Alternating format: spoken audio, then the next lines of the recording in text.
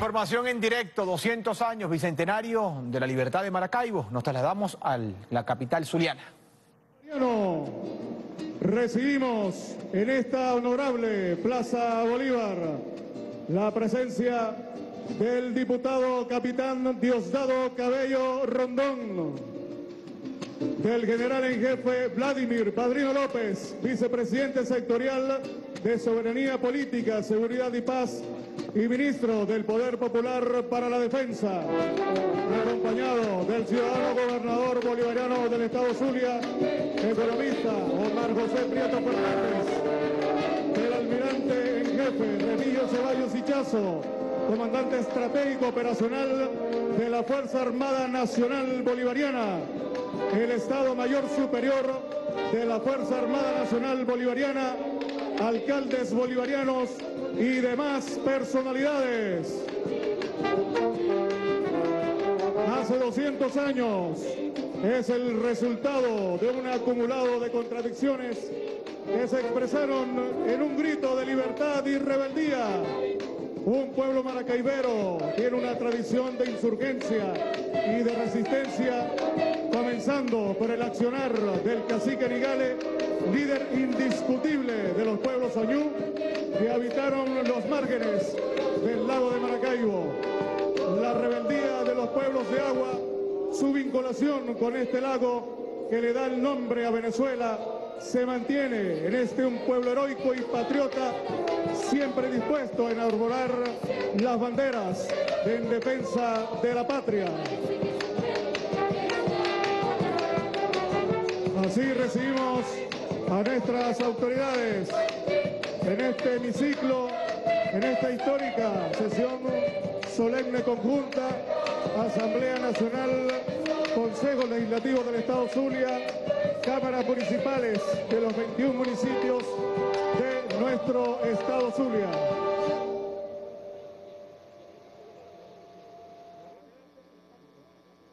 En honor a nuestros heroicos compatriotas, sembrados en la patria, quienes entregaron la vida en la histórica lucha por la libertad, en el campo de batalla junto al leal de los leales, general en jefe Rafael Urdaneta, el brillante.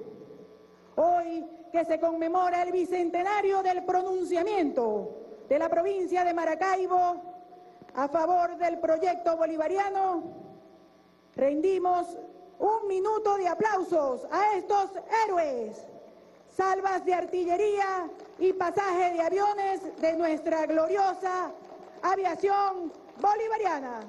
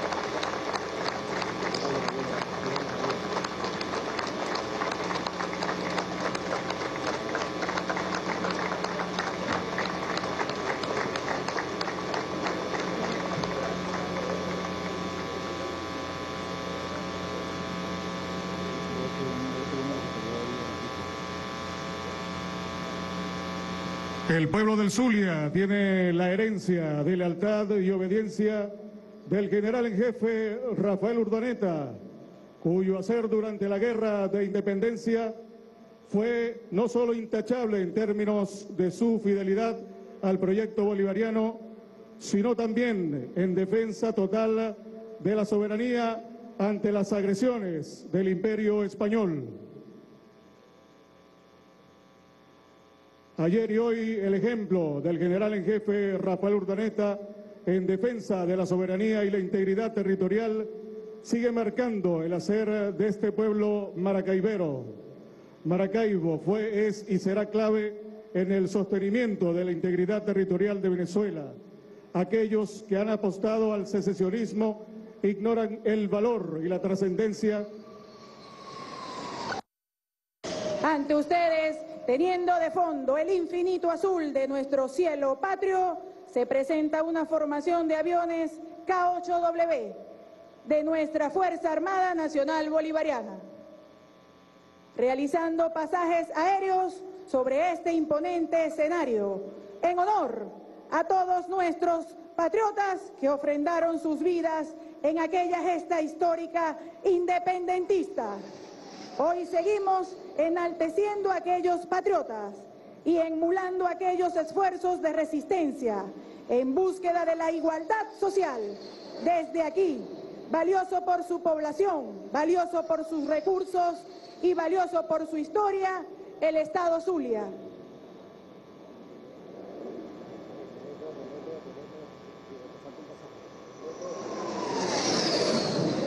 Esta aeronave de combate, adquirida en revolución y perteneciente al sistema defensivo territorial, se encarga de salvaguardar más de 2.000 kilómetros de frontera y todo el occidente del país. Hoy, en esta magna fecha, con estos pasajes aéreos, rendimos tributo a todos nuestros ancestros y próceres que ofrendaron sus vidas y que permitieron estar celebrando hoy 200 años de lucha ante los imperios que pretenden doblegar nuestra libertad. El gobierno bolivariano del Estado Zulia y la Fuerza Armada Nacional Bolivariana le dan la más cordial bienvenida a la sesión solemne con motivo del bicentenario del pronunciamiento de la antigua provincia de Maracaibo a favor del proyecto bolivariano.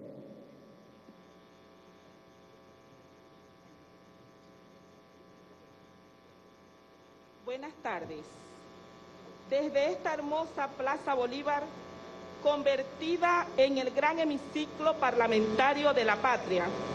200 años después, los hijos de Bolívar y del general Urdaneta, unidos, nos encontramos para conmemorar el día más importante de todos los zulianos y zulianas. Amorosos del proyecto bolivariano y continuadores de la gesta libertaria de 1821. Por tal motivo, celebramos esta sesión solemne conjunta con la Asamblea Nacional de la República Bolivariana de Venezuela, Consejo Legislativo y los consejos municipales del Estado Zulia, en conmemoración del Bicentenario de la incorporación de la provincia de Maracaibo a favor del proyecto bolivariano. Secretario, por favor indíquenos si tenemos el quórum reglamentario. Con la presencia de las diputadas y diputados de la Asamblea Nacional de la República Bolivariana de Venezuela en comisión especial, legisladoras y legisladores del Consejo Legislativo del Estado Zulia, concejalas y concejales de la totalidad de los consejos municipales del Estado, se cuenta con el quórum reglamentario Ciudadana Presidenta para dar inicio a esta sesión solemne. Queda instalada esta sesión solemne conjunta. Himno de la República Bolivariana de Venezuela, interpretado por la Orquesta y Coro Juvenil Infantil del Estado Zulia.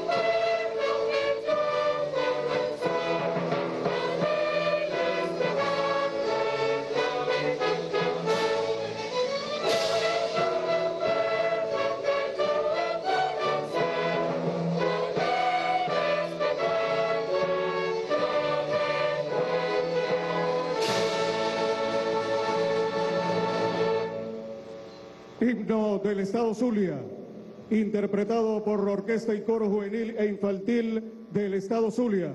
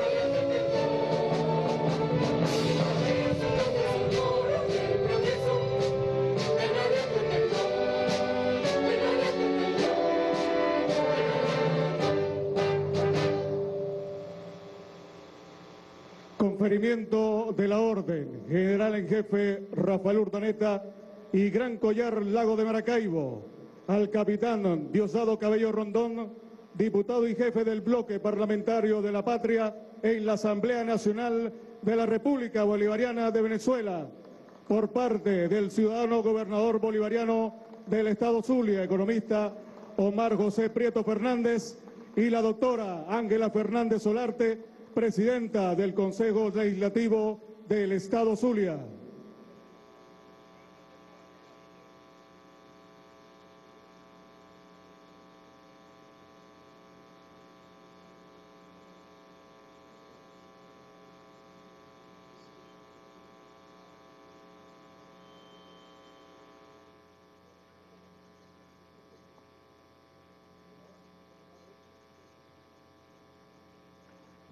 Y así estamos viendo cómo se desarrolla la sesión solemne de la Asamblea Nacional. El orador de orden es el jefe del bloque parlamentario del Gran Pueblo Patriótico, Diosdado Cabello Rondón, que a esta hora va a recibir... En este momento se procede asignación a la imposición de la condecoración realizando en este momento a por parte Diosdado del Cabello Consejo Rondón. Legislativo del Estado Eh, lo está Zulia. realizando la presidenta Ángela Fernández en compañía del gobernador del estado Zulia, Omar Prieto Fernández. Eh, momento histórico para el pueblo zuliano donde se está conmemorando los 200 años, el bicentenario de la emancipación bolivariana de lo que fue la provincia de Maracaibo y hoy, eh, hoy Estado Zulia. Eh, estamos escuchando en este momento al gobernador Omar Prieto, quien hace la colocación de la condecoración a Diosdado Cabello Rondón. Momento en el que el pueblo zuliano está celebrando el ciclo bicentenario que a partir de este momento hasta lo que será el mes de junio donde se conmemore el bicentenario de la batalla de Carabobo y fue en este en esta tierra, en esta tierra en el estado Zulia donde inició este proceso con que se concretó y se consolidó con la emancipación de la provincia de Maracaibo, hoy Estado Zulia. De Maracaibo, hoy Eh, con- continúa en este momento eh, la entrega de eh, la condecoración que hace, que realiza Ángela Fernández y el gobernador del estado Zulia al capitán Diosdado Cabello. Importante destacar que acá en la región zuliana en este momento se encuentran presentes todos los integrantes del Consejo Legislativo de Estado Zulia, así como la comisión designada por la Asamblea Nacional para estar acá en este importante acto, eh, importante acto patrio que mantiene eh, o que consolida la participación de la provincia de Maracaibo. Escuchamos al gobernador. La patria libre, soberana y socialista, hermano Diosdado. Soberana y socialista, hermano Diosdado está realizando la, eh, se le está colocando eh, la condecoración que hace la gobernación bolivariana del estado Zulia al orador de orden de esta importante fecha, 200, eh, 200 años, el bicentenario de la emancipación bolivariana de la provincia de Maracaibo, hoy estado Zulia. Eh, también importante destacar que todas las actividades del ciclo bicentenario que inician el día de hoy acá en la región zuliana con la presencia de la Comisión Especial. Del ciudadano gobernador bolivariano del Estado Zulia, economista Omar José Prieto Fernández. Omar José Prieto Fernández.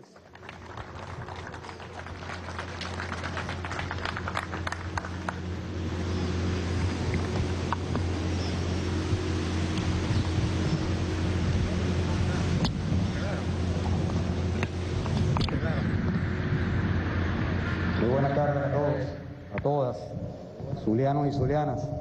Chávez vive.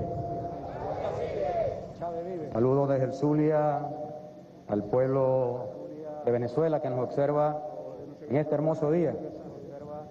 Saludar aquí la presencia del alto mando militar encabezada por nuestro hermano ministro Vladimir Padrino López, ministro del Poder Popular para Defensa.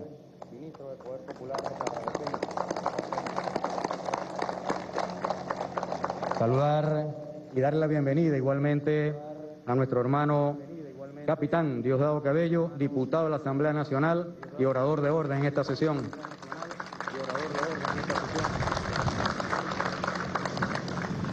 Bienvenido también nuestro hermano Remigio Ceballo, jefe de Estado Mayor del Comando Estratégico Operacional de nuestras Fuerzas Armadas.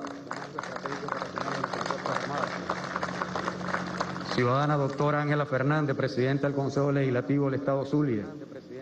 Diputados y diputadas del Consejo Legislativo. Camarada hermano doctor Pedro Carreño, diputado de la Asamblea Nacional. Doctor Lisandro Cabello, diputado de la Asamblea Nacional.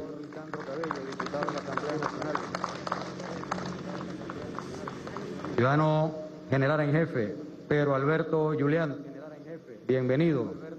Ciudadano mayor general, Domingo Antonio Hernández, comandante general del glorioso Ejército Nacional Bolivariano. Ciudadano almirante general, William Miguel Cerantes Pinto, comandante general de la Armada Nacional Bolivariana. Mayor general José Rafael Silva Ponte, comandante de la aviación militar bolivariana. Mayor general Fabio Enrique Sabarce Pavón, comandante general de la Guardia Nacional Bolivariana. Mayor general Manuel Bernard Martínez, comandante de la milicia bolivariana. Nuestro hermano mayor general José Santiago Moreno Martínez, comandante de la red occidental. Ciudadano mayor general José Adelino Ornella Ferreira, jefe del Estado Mayor de la Comandancia en jefe y secretario de Consejo de Defensa de la Aviación. Ciudadano general Manuel Castillo Reginfo, comandante de la SODI del Estado Zulia. Ciudadano diputado Manuel Quevedo, diputado de la Asamblea Nacional. Todos los hermanos representantes de la Fuerza Armada Nacional Bolivariana, sus diferentes componentes. Nuestros hermanos alcalde, alcalde de Maracaibo, hermano Willy Casanova Campo. Su señora esposa, Selena Estrat. Ciudadano Dirio Arrieta, alcalde bolivariano de la ciudad de San Francisco. Ciudadano alcalde bolivariano del municipio Mara, Luis Caldera. ciudadanos alcaldes y alcaldesas del Estado Zulia, hermana diputada Loa Núñez, diputada de la Asamblea Nacional, bienvenida. Un especial saludo a nuestra hermana Noelí Pocaterra, diputada de la Asamblea Nacional. Bienvenida, hermana Noelí. Diputados y diputadas de la Asamblea Nacional que nos acompañan el día de hoy. Saludos desde el Zulia con mucho amor, cariño y afecto, amor de hermano, a nuestro comandante en jefe, presidente de la República Bolivariana de Venezuela, Nicolás Maduro Moro. Desde acá, desde el Zulia, comandante, presidente, te enviamos nuestros saludos y el agradecimiento por haberte puesto al frente en esta batalla que vamos sin lugar a duda a consolidar la victoria y es la batalla contra el COVID. Bienvenidos todos, bienvenidos todas a esta tierra del sol amado, de los poetas del lago, de los valientes pueblos que viven a la orilla de nuestro lago, que tantos batallaron y se opusieron a la dominación europea. Bienvenido a este Zulia diverso, complejo, pero también comprometido. Hoy estamos reunidos conmemorando el bicentenario del pronunciamiento de la provincia de Maracaibo a favor del proyecto bolivariano. Muchos Muchos nos han acusado, sobre todo la Academia de la Historia y los factores de poder, de señalar al Zulia como prorrealista, secessionista y separatista. Quienes lo hacen desconocen el valor y la trascendencia de este pueblo y de su historia. Simplemente alteran la realidad. Con el Zulia siempre se han equivocado. El imperialismo se ha equivocado. Se equivocó el mariscal La Torre, máximo comandante de las tropas españolas en 1821. Se equivocó el comandante Labordet, líder de la escuadra que batalla y perdió, fue derrotado en la gran batalla naval del lago en 1823. Se equivocó el imperialismo norteamericano en 1936 en el contexto de la huelga petrolera con nuestro valioso y valiente pueblo obrero que exigió la defensa de la patria. Se equivocó el imperialismo al pretender ganar para sí determinados actores políticos desde el Zulia para apostar al secesionismo. Y se equivocan hoy al creer que este pueblo puede ser capaz de traicionar el principio de lealtad que nos ha dejado como herencia el brillante, el leal Rafael Urdaneta. Permítame en unos minutos poder expresarle a esta Asamblea Nacional Bolivariana, a nuestra Fuerza Armada, a nuestro comandante presidente, a nuestro hermano Diosdado Cabello, ministro de la Defensa, lo que han recogido nuestros historiadores, historiadores bolivarianos, historiadores zulianos, entre ellos Idelfonso Finol, un fuerte aplauso a nuestro hermano Idelfonso Finol, que hoy presentó su libro, Idelfonso, defensor de lo que es ser zuliano verdadero. Saludar también a otro historiador, Alexis Fernández. Gracias, Alexis, por esas investigaciones. Y hoy presentaron su libro. Y Alfonso, presentaste tu libro. A cada uno de los invitados se le ha entregado un libro de Idelfonso Finol y el libro de Alexis Fernández. Igualmente, nuestro hermano diputado Juan Romero, historiador, profesor.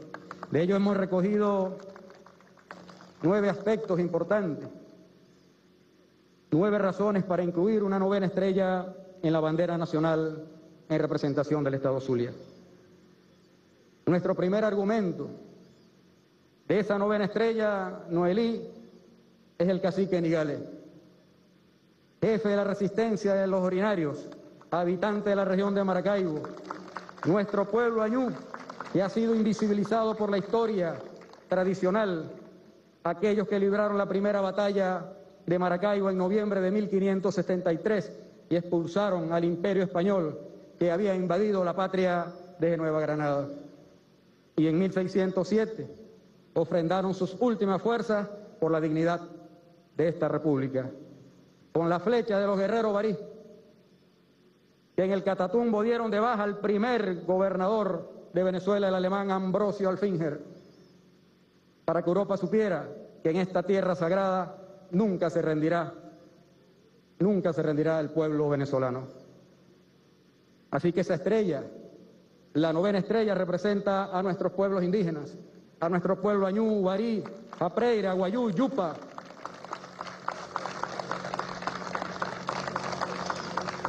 Así lo ha recogido nuestro hermano Alfonso Finol. Un segundo argumento de esa estrella es la estrella del general en jefe Rafael Urdaneta Farías. La República Bolivariana de Venezuela. Nosotros tenemos una deuda con Rafael Urdaneta. El libertador, además de tenerle como el más fiel amigo, lo designó con las honrosas titulaciones del brillante Salvador de la Patria, eje de las operaciones militares, entre otras sublimes menciones. Un tercer argumento de la novena estrella es el nombre de Venezuela. Es un hecho sumamente conocido que el nombre de la patria viene del modo de vida que nuestro pueblo indígena Ayú tiene en el lago de Maracaibo. Un cuarto argumento, y con esto no menos importante, es el pronunciamiento de Maracaibo el 28 de enero de 1821, que provocó el fin del armisticio con España e hizo posible la batalla de Carabobo, destacando acá que la cabeza de este movimiento militar fue nuestro general leal Rafael Urdaneta, bajo las órdenes del libertador Simón Bolívar. Un quinto argumento es el triunfo definitivo sobre el enemigo realista en la batalla naval del lago, batalla que se libró tanto en el lago como en la tierra. El ejército realista y su poderosa flota fueron destruidos por las fuerzas revolucionarias comandadas por el general Manuel Manrique y el almirante José Padilla. Dentro de dos años estaremos conmemorando el bicentenario de esta gloriosa batalla naval del lago. Un sexto argumento es la capitulación y expulsión del último capitán general español de las tierras venezolanas. Esta lectura es poco común, nos lo explicaba el profesor Ildefonso Finol y el profesor Juan Romero. La historiografía tradicional acostumbra a ver en la capitulación de Morales como parte de la historia del Estado Zulia, pero este fue un acontecimiento de impacto nacional y de valor continental. Aquí se firmó la salida del último capitán, allí en esa casa, la casa de la capitulación, y que permitió la gobernanza, la gobernanza de la patria toda, la estabilidad de la República. Un séptimo argumento de esa novena estrella, en honor a las mujeres, es a la mujer que batalló por la independencia, enmarcadas en la heroína y mártires Ana María Campo, y Domitila Flores de los puertos de Altagracia, símbolos de la mujer revolucionaria que enfrentó y aún enfrenta con valentía al opresor imperialista. Una octava, un octavo argumento de esa novena estrella servirá para inmortalizar la primera visita del libertador Simón Bolívar el 30 de agosto de 1821, después de la victoria de Carabobo a donde entró al departamento del Zulia y se hospedó aquí en Maracaibo tres noches y una en los puertos de Altagracia.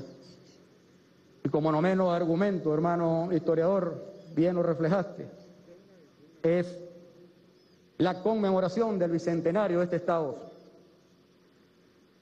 Estado Zulia, creado como gran departamento de la República el 2 de octubre de 1821. Hermanos y hermanas, presidente constitucional de la República Bolivariana de Venezuela, hermano diputado Diosdado Cabello, ministro de la Defensa Vladimir Padrino López, comandante del CEO, comandante Ceballos, y a todos los presentes. Pido el apoyo de todas las buenas voluntades del Zulia y de Venezuela para esta justa y oportuna solicitud que podamos ver en los próximos días, en los próximos meses o quizás en los próximos años la incorporación de la novena estrella en honor a este Zulia aguerrido, este Zulia bolivariano, este Zulia patriota, este Zulia leal, que nunca va a defraudar el compromiso que ha firmado con Bolívar, que ha firmado con Urdaneta. Estamos en los tiempos políticos precisos. El tiempo de Dios es perfecto. El tiempo de Dios es perfecto. Y presidente Nicolás Maduro, desde acá, desde el Zulia, seguimos su ejemplo. Nos anima a continuar con mucho entusiasmo, con mucha fuerza y con mucha entrega la construcción de una patria libre, soberana, socialista y cristiana como usted la ha expresado y lo ha referido, que encarne los mayores y mejores valores de solidaridad y humanismo. Ha sido usted, camarada presidente, un pilar en nuestro hacer y hoy queremos reconocerlo con mucho amor, amor de hermano, amor de cristiano de este Estado. Y a ti, hermano, camarada, diputado Diosdado Cabello, gracias por tu entrega, gracias por tu constante batalla, incansable batalla. Dios te dejó con nosotros y te dejará muchos años más con nosotros. Dejará muchos años más con nosotros. Bienvenido, hermano Diosdado. Y el comandante presidente ha enviado un mensaje para el Zulia y para Venezuela. Y le agradecemos a él el compromiso de poder desde la Asamblea Nacional estudiar esta hermosa posibilidad de que la bandera venezolana pueda llevar esta novena estrella y, por qué no, también la décima estrella, me comentaba nuestro hermano Diosdado Cabello. Quiero dejar con ustedes entonces, en un video, las palabras de nuestro comandante presidente, Nicolás Maduro Moro.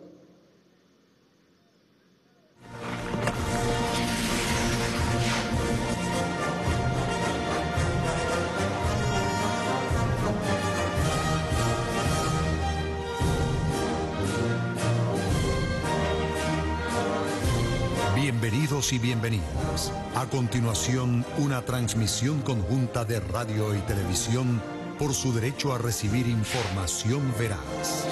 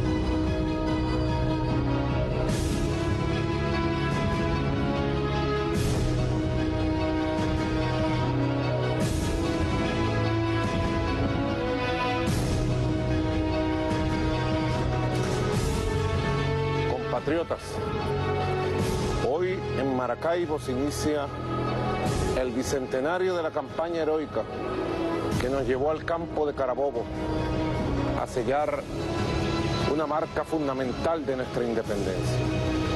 Ciertamente fue el 28 de enero de 1821 que debe ser recordado como uno de los acontecimientos decisivos que catalizaron el triunfo patriota rumbo al proceso de Carabobo. Fecha especialmente gloriosa para su principal protagonista, al que deseamos rendir el más profundo homenaje en esta ocasión bicentenaria, el aguerrido pueblo de Maracaibo y del Zulia. Una década más tarde, del 19 de abril de 1810, de aquella insurrección cívico-militar de Caracas, que expulsó por primera vez al gobierno español de Venezuela, y después de haber sufrido una férrea opresión monárquica que le impidió sumarse a la lucha patriótica en su primer momento, el pueblo heroico de Maracaibo en Cabildo Abierto, en Asamblea Popular a través de su ayuntamiento, decidió romper las cadenas del imperio español y adherirse a la naciente república, presidida entonces por el libertador Simón Bolívar. En los libros de historia hemos podido leer a lo largo de los años lo siguiente. Abro comillas acordó el muy ilustre ayuntamiento que, protestando como protesta ante el Ser Supremo, la sinceridad y la justicia de sus sentimientos, debe en su consecuencia declarar, como declara, al pueblo de Maracaibo libre e independiente del gobierno español. Qué grande este grito de dignidad. Qué grandeza, sin lugar a dudas, que aún deslumbra con el brillo del catatumbo el cielo de Maracaibo, cuando la oscuridad intenta separarla de su vocación patriótica. Sí, queridos compatriotas, el Zulia se hizo libre para luchar y defender la libertad de todos. Resaltemos el hecho de que la rebelión de Maracaibo fue una insurrección civil y política, que revirtió el orden dominante colonial sin acción de fuerza alguna y como expresión de voluntad soberana, pero que fue también toda una hazaña histórica de carácter cívico-militar. Esa unión cívico-militar, fundamento de la revolución bolivariana desde siempre, se revela cada vez más como el más profundo motor de nuestra historia libertaria.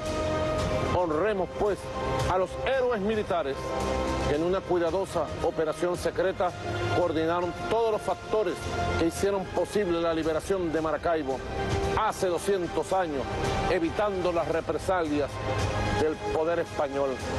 En primer lugar, al héroe de la lealtad y genio de la eficacia militar, Rafael Urdaneta, general de infinita gloria, quien por su participación en la emancipación de Maracaibo y seguidamente de Coro, entre otras de sus muchas acciones históricas notables, fue ascendido semanas después a general en jefe por el propio libertador Simón Bolívar. No olvidemos que fue Urdaneta quien por sugerencia de Bolívar entabló los contactos, agenció las reuniones y garantizó la seguridad con los patriotas rebeldes de Maracaibo que planearon la insurrección civil de hace 200 años. Luego de este acontecimiento, el libertador escribió una carta a Urdaneta y le decía, abro comillas, Su Excelencia felicita a usted y le tributa las más sinceras gracias por la prudencia y tino con que ha sabido conducirse en tan extraordinario y delicado negocio. Ha prevenido los deseos y votos del gobierno alcanzando la posesión de una plaza que es de primera importancia para nuestras relaciones y que asegura nuestras posiciones militares. Y ha dado al mundo un nuevo testimonio de entusiasmo por la libertad y de filantropía acogiendo bajo la protección de las armas de la República a un pueblo oprimido que la reclama y salvándolo de horrorosos desastres del desorden, de la anarquía y de la venganza de sus enemigos. Simón Bolívar. Qué palabras tan hermosas que expresaron la gloria de hace 200 años.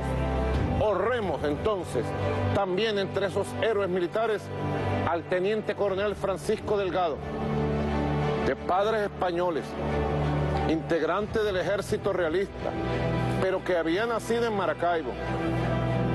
Ello lo llevó a adherirse a la causa republicana y siendo gobernador encargado de Maracaibo, a nombre de la corona, facilitó el desenlace político de la liberación de esta tierra amada.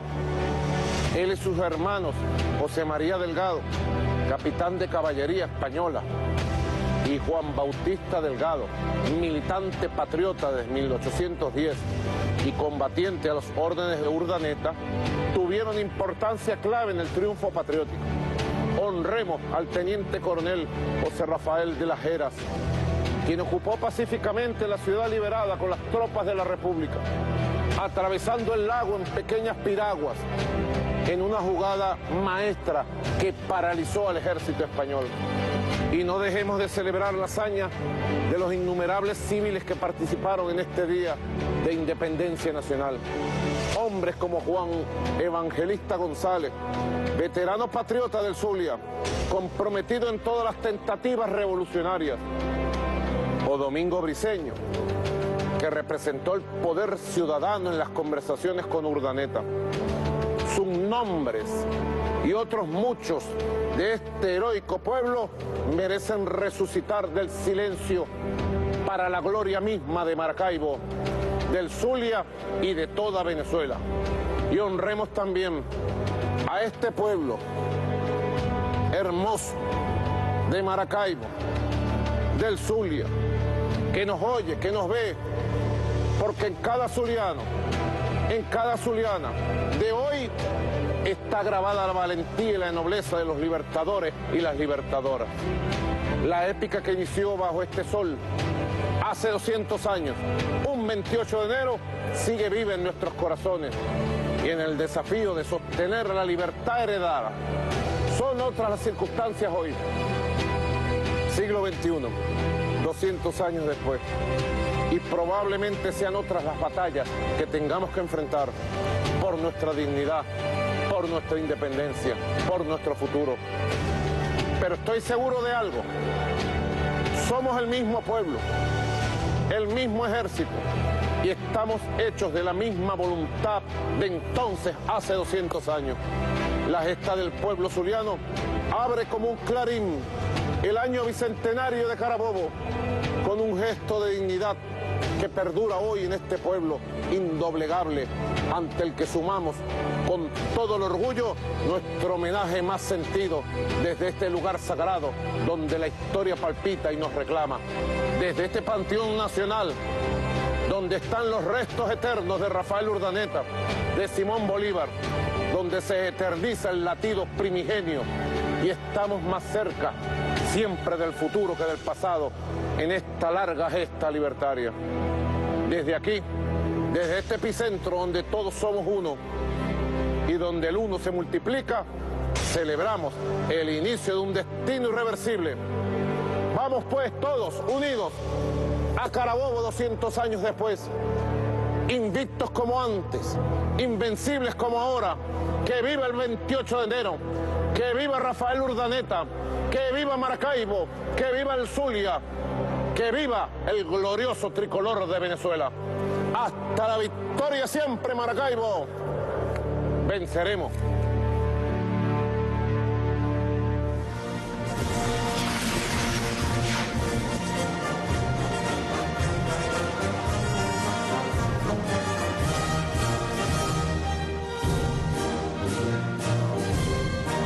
Ha culminado esta transmisión conjunta de radio y televisión.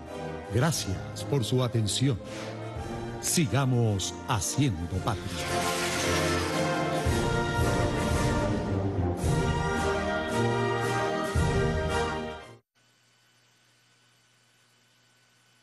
Comandante presidente, en nombre del pueblo zuliano, tenga la total y segura, seguro pensamiento de que este pueblo seguirá el camino de Bolívar, el camino de Urdaneta y el camino del comandante eterno Hugo Chávez. Que viva Hugo Chávez, que viva Nicolás Maduro, que viva la revolución bolivariana. Por Dios y la patria, venceremos. Leales siempre, traidores nunca. Buenas tardes.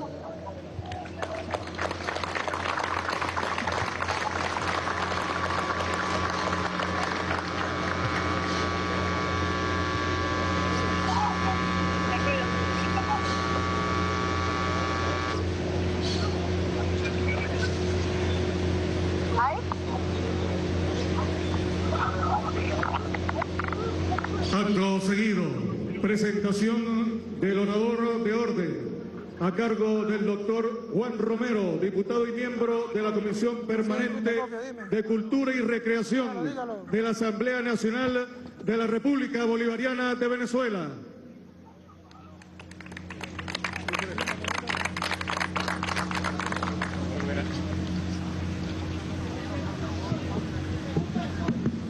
Muy buenas tardes a todos los que nos acompañan y nos sigan por Venezolana Televisión. Creo, antes de presentar a nuestro orador, les pido un fortísimo aplauso por las palabras de nuestro presidente en honor al valor, al compromiso, a la convicción del pueblo zuliano que se ha manifestado constantemente. Martín Lutero decía en algún momento que cuando la batalla se recrudece, se prueba la lealtad del soldado. Y es este concepto que sin duda también ha encarnado en nuestro Rafael Urdaneta, que nos sirve para esta presentación. Porque lealtad y devoción conducen a la valentía. No hay, no hay valientes que sean desleales. Y en una sociedad como la nuestra, como esta sociedad capitalista, ser real, leal y evadir el interés y el dinero es una anomalía. Por eso resulta más exaltable aún cuando el valor de la lealtad está presente. Y hoy me toca el honor, junto con todos los que están acá, para presentar a quien podemos caracterizar bajo la palabra de la lealtad. Un hombre que tuvo el valor de ofrendar su esfuerzo y su carrera en ese acto heroico del 4F de 1992. Ese mismo que acompañó a nuestro comandante Hugo Chávez en el trazado de la ruta del rescate del proyecto bolivariano que nos tiene hoy a todos aquí reunidos. El mismo que vimos firme y leal cuando el cobarde intento de abril de 2002. Ese hombre que se ha mantenido junto a tantos otros apoyando, sosteniendo, impulsando, organizando junto a nuestro presidente Nicolás Maduro, a quien saludamos desde esta tierra del sol amado. El camarada que ante los resultados del año 2015, quien como el Che, sintiendo el costillar de Rocinante de nuevo, salió a recorrer el país para levantar nuestra moral con su ejemplo digno. Recibamos, por lo tanto, con un fuerte aplauso constante al capitán Diosdado Cabello Rondón, orador de orden de esta sesión solemne en conmemoración del bicentenario del pronunciamiento de Maracaibo a favor del proyecto bolivariano. Bienvenido, capitán.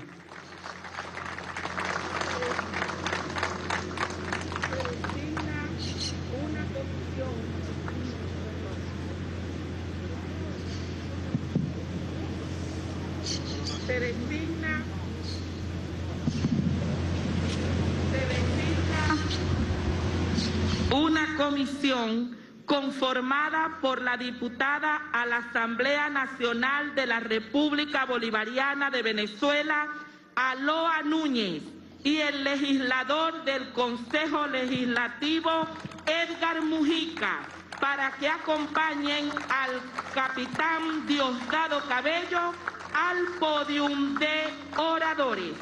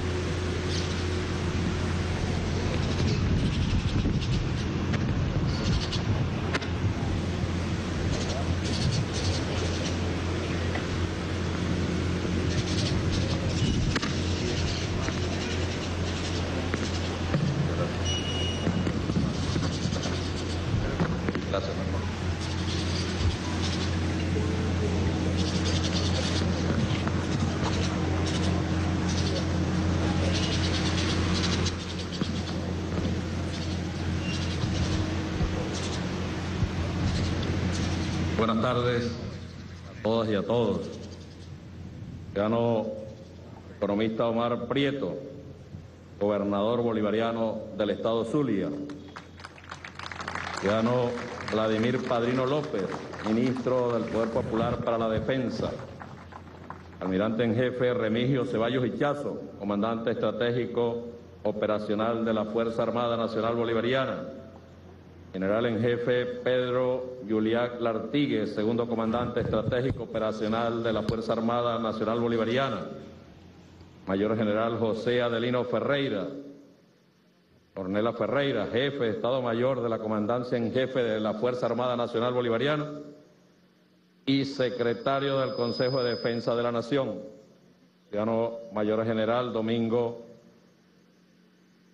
Antonio Hernández, comandante general del glorioso Ejército Nacional, señor almirante general William Miguel Cerantes Pinto, comandante general de la Armada Bolivariana, ciudadano mayor general José Rafael Silva Ponte, comandante de la aviación militar bolivariana, ciudadano mayor general Fabio Enrique Sabarce Pavón, comandante general de la Guardia Nacional Bolivariana, ciudadano mayor general Manuel Bernal Martínez, comandante de la milicia bolivariana, ciudadano mayor general José Santiago Moreno, Moreno Martínez, comandante de la red de Occidente, queridos compañeros representantes de la Fuerza Armada Nacional Bolivariana de todos sus componentes, ciudadana doctora Ángela Fernández, presidenta del Consejo Legislativo del Estado Zulia, nuestra querida amiga, queridos compañeros legisladoras y legisladores del Estado Zulia, a mis colegas parlamentarios, diputados de la Asamblea Nacional, mi saludo, invitados a este acto. ciudadanos alcaldes y alcaldesas bolivarianos del Estado Zulia, todos mi respeto, mi cariño, ciudadanos concejales presentes, querido pueblo del Estado Zulia, querido pueblo de Venezuela. Estamos acá, 28 de, de enero, 28 de enero de mucho valor histórico para la patria y quiero agradecer al señor gobernador, al pueblo del Zulia y a todos los zulianos que han fijado su vista en mi persona para venir hasta acá y expresar unas palabras en este extraordinario día de gran importancia para el pueblo zuliano. Me siento sumamente honrado de esta consideración que han tenido con mi persona. Aquí estuvimos varias ocasiones con nuestro comandante Hugo Chávez, unas cuantas ocasiones estuvimos aquí en el Zulia. Y sabemos del amor y el cariño de nuestro comandante Chávez al pueblo zuliano, a Maracaibo, a nuestros ancestros que dieron origen a nuestra patria. Y quiero comenzar estas palabras solo pronunciando, repitiendo algo que dijo el comandante aquí en el año 2006. Viva el Zulia, viva el pueblo zuliano, el pueblo de Rafael Urdaneta, bolivariano hasta la médula, viva la revolución bolivariana. Reciban un saludo revolucionario, afectuoso y lleno de compromiso y de una disposición plena a continuar, impulsando la revolución bolivariana en toda Venezuela y en el Zulia. Saludos que lleva al mismo tiempo un llamado al pueblo zuliano, porque el pueblo zuliano, a diferencia de lo que algunos andan por allí diciendo, el pueblo zuliano es profundamente venezolano, venezolalista, a diferencia de lo que algunos andan pregonando. El pueblo zuliano no es ningún pueblo contrarrevolucionario el pueblo zuliano es un pueblo profundamente revolucionario. El pueblo zuliano, a diferencia de los que algunos andan por allí balbuceando porque no tienen ni discurso. El Zulia es tierra revolucionaria, es tierra bolivariana. 2006, nuestro comandante Hugo Chávez. No revisa la historia de nuestro país y se enamora ¿no? de cada episodio cada momento y comienzan a aparecer nombres, comienzan a aparecer episodios, ¿no? Y la grandeza y el desprendimiento y la valentía de nuestro pueblo. Sin duda destaca un nombre en la historia de nuestra patria, el nombre de Rafael Urdaneta.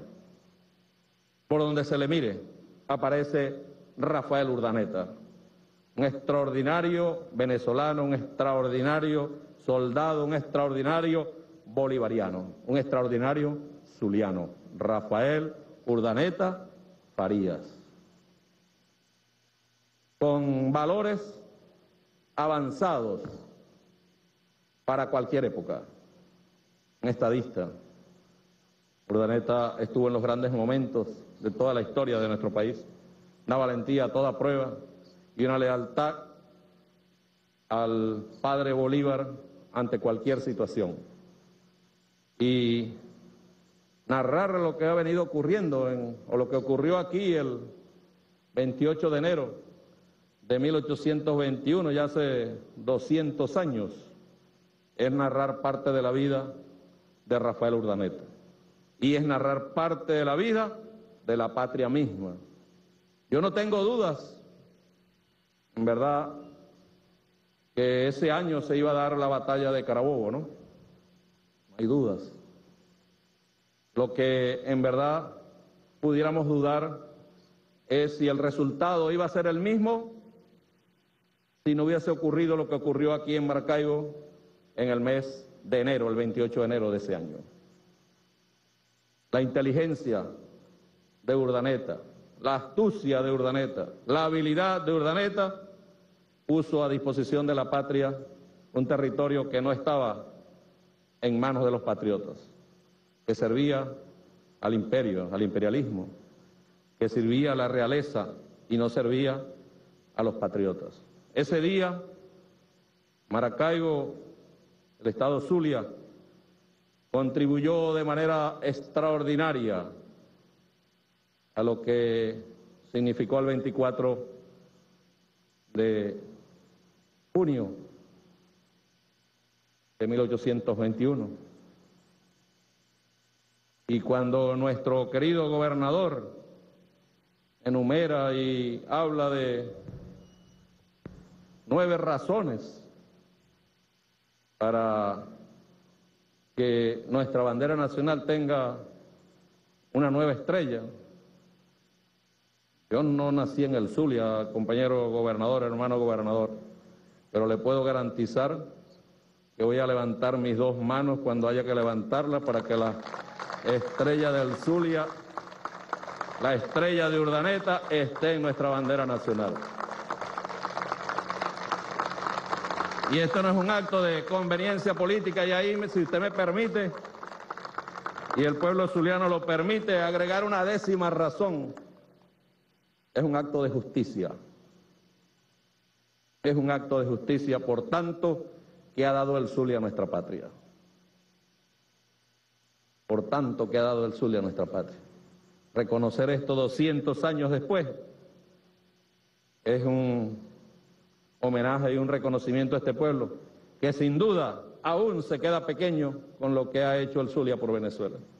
Me siento de verdad muy orgulloso de estar acá, feliz en verdad de estar acá en el Zulia.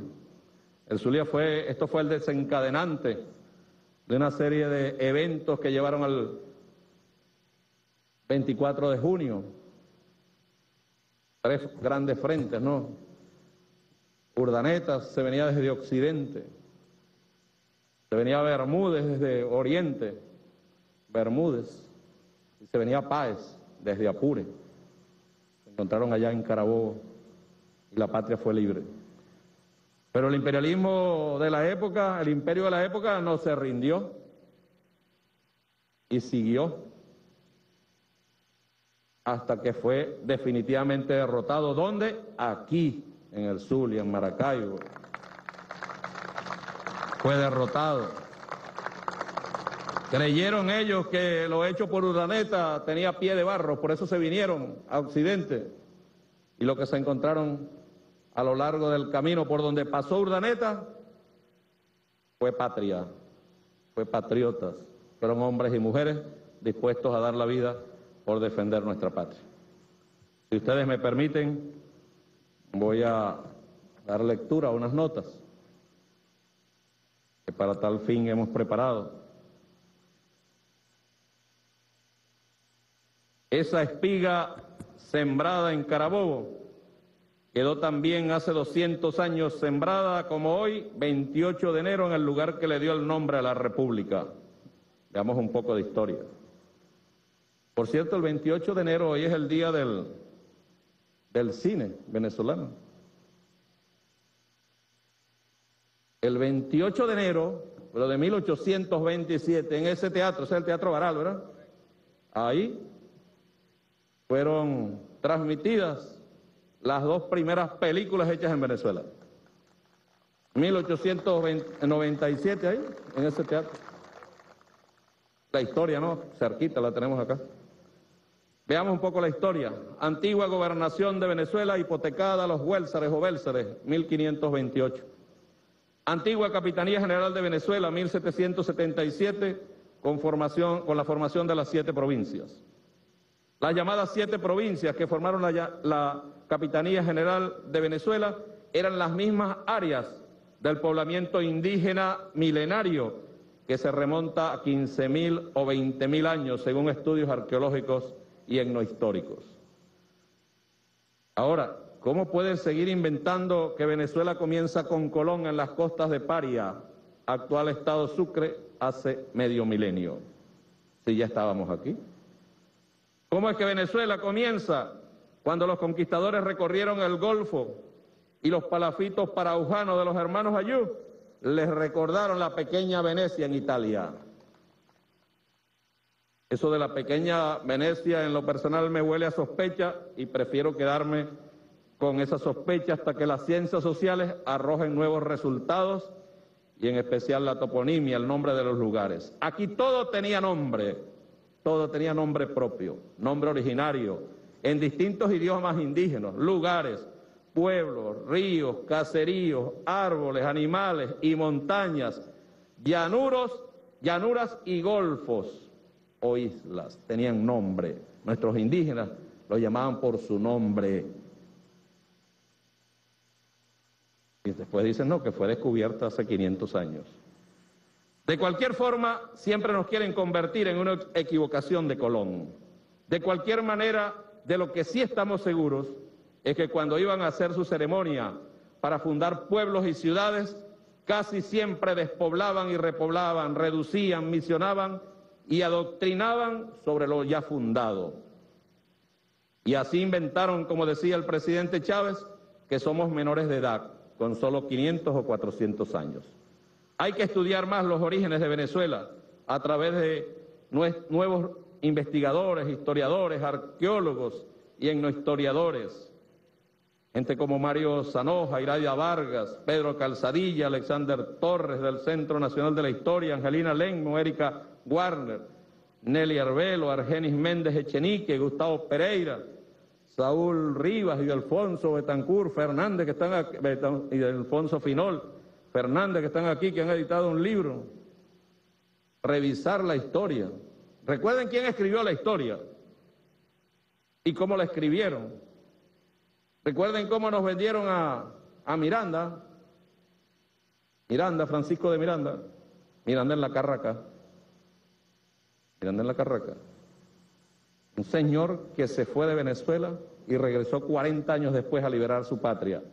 Pero todo el mensaje que de quienes escribieron la historia es que todo el que sea como Miranda debe terminar en la Carraca. ¿Cómo nos vendieron lo que ellos llamaron el descubrimiento.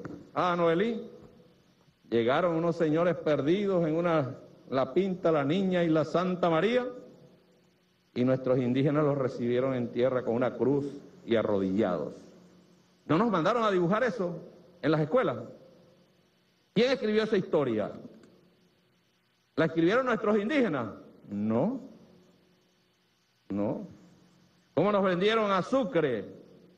asesinado en Berruecos, Sucre, el gran Sucre. Todo el que sea como Antonio José de Sucre termina en Berruecos. ¿Cómo nos vendieron a Zamora? A Zamora, ¿cómo nos los vendieron? Delincuente, hasta hace poco. El nefasto periodo de la Asamblea Nacional que dirigieron algunos de los señores de la oposición, lo llamaron bandolero.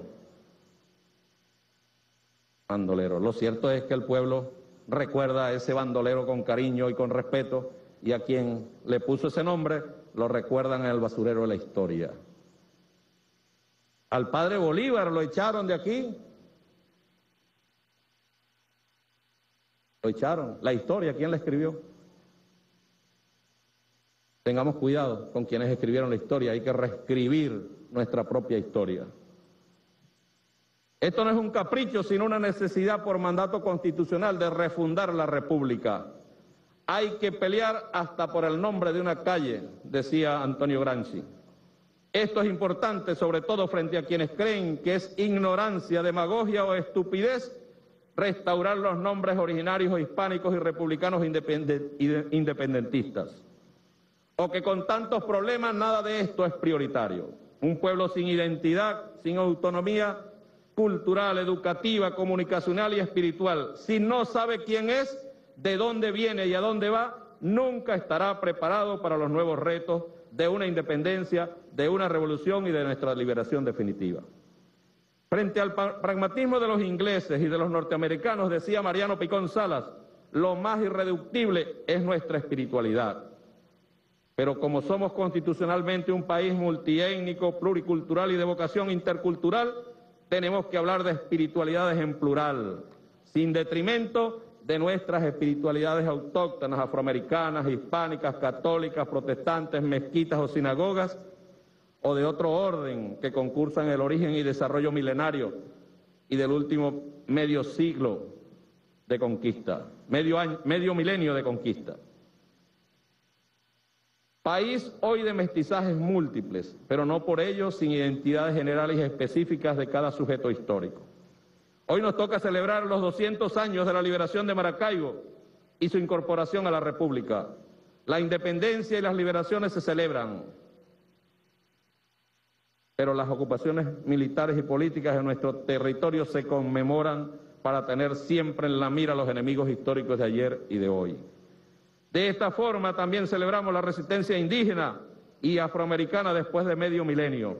De allí el sentido de la resistencia indígena propuesta al presidente Chávez cada 12 de octubre por nuestra querida hermana diputada indígena Noelipo Caterra, que en verdad debería ser Día de la Resistencia Indígena de todos los continentes, una fecha globalizada en Europa, África, Asia y Oceanía, globalizada desde las luchas locales y globales de los pueblos, clases y culturas oprimidas por la occidentalización compulsiva y unilateral. Vale la pena recordar lo que significó la lucha por la octava estrella, que era un mandato bolivariano para la inclusión de Guayana después de la batalla de Chirica o San Félix y el Congreso de Angostura. Fíjense la fecha, 1817. No existía la Gran Colombia, existía era Venezuela, ¿no? Nuestra patria. Debemos recordarle a nuestros hermanos colombianos, ecuatorianos y panameños y de todos los países bolivarianos como Perú y Bolivia que el sol de la Gran Colombia nace por Angostura, hoy Ciudad Bolívar. Y ese es el sol que nosotros reclamamos que nace ya en nuestro Esequibo. Luego pasa al llano y Boyacá, por esa espiga sembrada en Carabobo hasta Ayacucho. Estamos hermanados por la sangre india, negra y blanca derramada en los campos de batalla de la independencia. Se dará una discusión estéril por incluir la novena estrella en, representación de la provincia de Maracaibo después de 200 años de exclusión. En verdad yo no lo creo. Y por eso me sumo a, estoy seguro, a los diputados del Zulia y con toda seguridad a la mayoría de los diputados de Venezuela levantar nuestras manos cuando haya que levantarlas en la Asamblea Nacional para hacerle este reconocimiento a Maracaibo y al Estado Zulia. Por eso el presidente Nicolás Maduro ha delegado esta responsabilidad a la Asamblea Nacional y por eso la consulta a los consejos. Una Venezuela bien fortalecida en su unidad interna, sin detrimento de sus diversidades, frente a esa demoníaca santa alianza del Departamento de Estado y de los imperios occidentales. En estos días se dio una unidad nacional muy importante con la oposición en torno al problema nacional con la, con la oposición en Venezuela en torno al problema común del intento de despojo de la zona en reclamación del Esequibo para cercenar nuestra fachada atlántica. Venezuela se mostró unida. Venezuela se mostró unida como un bloque. Así debemos los venezolanos y las venezolanas estar unidos para resolver los problemas de Venezuela, para enfrentar a los enemigos de la patria, para luchar y para defender lo que le costó tanto a los Urdaneta, a los Bolívar, a los Miranda, a los Sucre, a, los Ana María, a las Ana María Campos, a Josefa Camejo. Esto es válido plantearlo hoy también cuando estamos en el año bicentenario de la batalla de Carabobo, que aún tiene figuras anónimas. Perdón. Que aún tiene figuras anónimas que tal vez por artimañas de algunos todavía no están en nuestro panteón nacional, como es el caso del, del, incorruptible general de división José Cornelio Muñoz, el mismo general Piar en Guayana, cuyo triunfo con la indiada en San Félix abrió la independencia a la navegación del Orinoco, o como José Antonio Anzuategui, por nombrar a algunos. Si el sol de Venezuela nace en el Esequibo, el nombre de Venezuela nace en este espacio caribeño de Golfo y de Lago, Lago de Maracaibo y Golfo de Venezuela. Golfo que en los idiomas indígenas tal vez tenga nombre propio para los añú, nombre, o para los guayú, para los yupa, para los barí, los aprería, que son de origen chiche, de allí, de allí aquello de Coquibacoa. Como el famoso Churummerú, que quizás tenga su nombre arahuaco y no solo en Caribe. Como el Orinoco, que tiene distintos nombres en los diferentes idiomas indígenas y que deben ser respetados cada uno de los nombres que tengan de nuestros pueblos originarios. En todo esto debemos estar atentos, más cuando no se respetó el diálogo y la paz mediante la aplicación bolivariana de lutis possidetis juris, que hubiese evitado muchas guerras entre hermanos después de la independencia. Lo cierto es que apenas uno pisa el suelo zuliano, siente en los pies el resplandor del llamado quemante de la madre patria y ve la mirada al cielo de la chinita con ojos negro azabache, hermosos ojos de nuestra, los pueblos originarios, mirando el horizonte, mirando la inmensidad del lago. Y en su aura divisamos los relámpagos del catatumbo y la flor de la capa de ozono. Pero no es fácil para nuestro país salir del atolladero de las riquezas del subsuelo y del suelo, codiciadas por las grandes potencias, a riesgo de ser asfixiados y arrasados por la hegemonía de Occidente y su capitalismo sobre nosotros. Ellos creen haber encontrado el dorado aquí. Hacia el sur del lago sentimos el llamado del tambor de ese santo negro que huele a sambo, indio y negro que huele a José Leonardo Chirino, y al Bolívar sambo y caballo en batalla que desterró el señor Ramos Alú del Palacio Federal Legislativo que cuando dejamos la presidencia de la Asamblea Nacional declaró que el altar que teníamos ahí de los próceres era un chiquero que tenía este humilde servidor y no era sino un sitio para rendirle homenaje a nuestros próceres. Le iba a barrer con esa escoba y depurar con, el, con una escoba y a depurar con el incienso tal vez del capitalismo financiero global la dignidad de aquel hemiciclo. Dos, antes, dos años antes había acusado al comandante Chávez de querernos mantener con un guayuco sobre los árboles, creyendo que todavía somos indios de hace 200 años, según apuntaban las propias palabras de ese mal llamado general en jefe de lo que un tiempo fue el Partido del Pueblo, Partido de los Alpargatudos, de los Cholumos, de Juan Bimba. Eso solo nos daba la puntada en el dedal para saber qué tipo de gente era la que había llegado a la Asamblea Nacional en aquel momento, proponiendo como única razón acabar con las grandes, o única propuesta, las grandes colas de una supuesta escasez. Después encontramos la punta del ovillo, veíamos a la gente del Lagunita Country Club y agentes extranjeros adornando con su presencia cada sesión de los balcones del Palacio Federal Legislativo, lo supervisaban directamente. Ya no podía entrar al, el pueblo sin paltó y corbata y bien perfumado. Nos querían hacer lo mismo como en aquella Bolivia antiindígena antes de la llegada del hermano Evo Morales, donde los indios no podían pasar por las plazas principales a riesgo de ser apaleados por las bandas fascistas. Si se encontraban en una acera, tenían que bajarse de la acera los indios, porque eran sometidos, golpeados, empujados. Fue así como los alpargatudos perdieron en Venezuela con la Asamblea Nacional pasada el chivo y el mecate a uno por allá en nuestra tierra. Me decía una señora que había que trabajar y rezar mucho para que surja una oposición patriótica, que yo le voy a decir, comienza a surgir, pareciera, una oposición patriótica en nuestro país, que no importa la posición política, están dispuestos a defender nuestra patria por encima de cualquier circunstancia. Y eso es bueno para la patria, eso es bueno para el país, es bueno para la democracia. Y esa voz de esa persona diciéndome que debíamos volver, bueno, se cumplió, lo que es la sabiduría popular.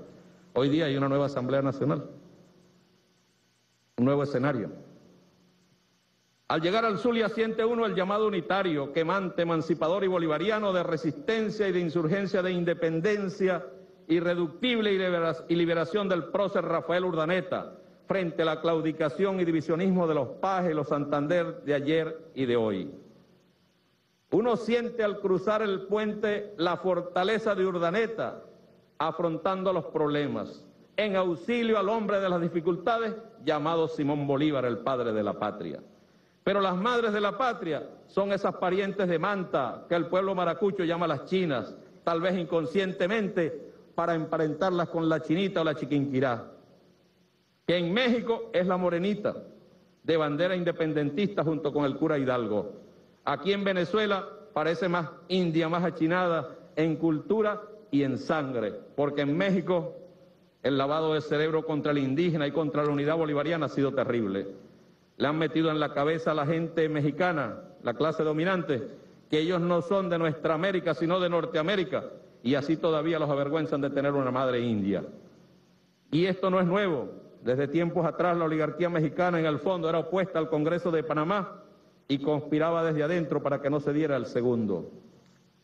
Debe ser titánico el esfuerzo que hace hoy el presidente López Obrador para sacar a México de su laberinto político, que es primero que todo un laberinto cultural y civilizatorio bajo el consuelo infernal de una supuesta raza cósmica para desindianizarnos un conflicto moral y espiritual de identidad, de identidad nacional y nuestro americano. Conflicto histórico y cultural de gran alcance. Es la doble lucha contra el malinchismo y la xenofobia, la adoración del extranjero y el odio a su propia sombra, y el odio a su propia sombra, como lo Francisco Fajardo aquí y su madre Isabel, que es nuestra malinche, o la intolerancia al extranjero, como lo hacen algunos fascistas. Pero este conflicto también es nuestro y de nuestra América. Aquí en Venezuela, ese conflicto está bastante camuflado y por eso es más difícil combatirlo porque se torna invisible. Entonces recibimos la golpiza cada rato y no sabemos de dónde vienen los golpes. Ese otro boxeador nos mantiene contra las cuerdas, azotados y nos cuesta defendernos porque no lo vemos y hasta no creemos que existe, no vemos los guantes y garfios del pulpo. Es el imperialismo con su fuerza y sus formas. Urdaneta fue reivindicado por el comandante presidente como un ícono de la unidad bolivariana, de la incorruptibilidad, de la esperanza y de la lealtad a toda prueba. Su retrato debe ocupar un espacio digno en nuestro Palacio Federal, Federal Legislativo, al lado de Miranda de Sucre y de otros próceres. Esto sin olvidar que la patria fue fundada en todo el continente dejando un poco por fuera, como lo dice Galeano, a los indios, a los negros y a las mujeres. Por eso nos hemos visto en la necesidad de refundar el Panteón Nacional con Guaycaipuro y Apacuana, con el negro primero y la negra Hipólita, con Juana Ramírez la avanzadora. Era antes un panteón de blancos y machos, que de carambola pudo entrar en la Cuarta República el sambo José Leonardo Chirino, prototipo de la afrovenezolaridad. Guaycaipuro no cabía porque algunos de, los, de la Academia de la Historia planteaban que Guaycaipuro no era venezolano. Para esas personas eran más venezolanos Francisco Fajardo, Colón y Diego de Lozada que Guaycaipuro y que Nigales. Así que Nigales, extraordinario guerrero, zuliano. Quiero decir entonces que Maracaibo y el Zulia no son un gran museo de antigüedades indígenas, ni el sexto actual de la chatarra petrolera del último ciclo de exploración y, explotación. La madre india, con sus mantas, relata y traduce sus sueños y ruegan a Juyá en plena sequía, llamando la lluvia. Juyá les habla en geometría cósmica, en sus bordados y tejidos, pero también en cada arco iris a la caída de la tarde, danzando la lluvia para preñar la tierra. Mientras que los barí, ante la nueva conquista, Describen a lo lejos la caña de azúcar como una extraña piña de piernas largas que espiga a lo lejos como los maizales. Pero no es la piña que le ha dado nacimiento a su pueblo, es una piña extraña que huele a esclavitud, a destierro, sudor y lágrimas, por allá, por esos horizontes caribeños, donde el indio ha sido exterminado y sustituido por el negro esclavo y el negro esclavizado.